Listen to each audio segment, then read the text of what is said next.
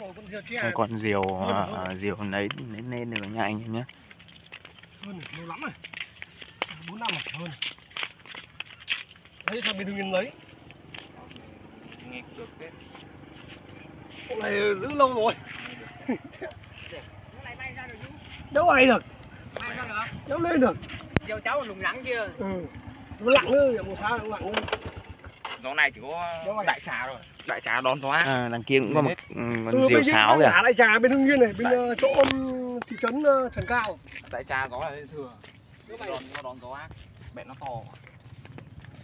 Cho neo cất cất đi tí đêm mới xuống. Ờ, con này mà dựng lại nghèo được không? Neo hơi lún. Đúng rồi. Luôn nó luôn chặt được. mặt.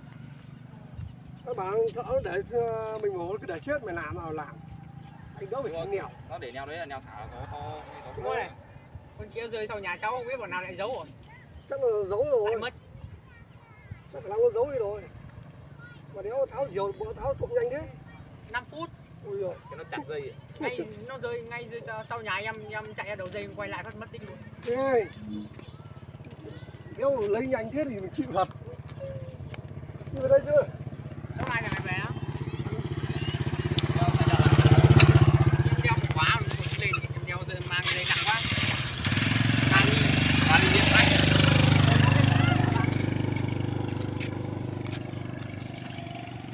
vâng và anh em ạ sau một à, cái Lamborghini kìa. thời gian à, đây con nữa này. Nữa đây à? Đây đấy. Ba con ba con kìa. đâu con này là con đấy. Con này con Ferrari. Bây giờ mình sẽ tiến đến gần những bông à, hoa sen. Mình quay cho anh em xem nhé. À người ta hàng rào lại rồi anh em ạ. Là không cho vào rồi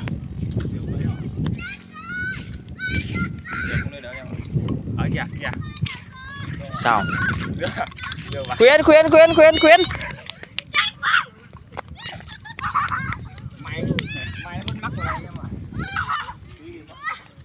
Ý là mật nha. Vừa chạy mặt vừa mếu. Bộ chân.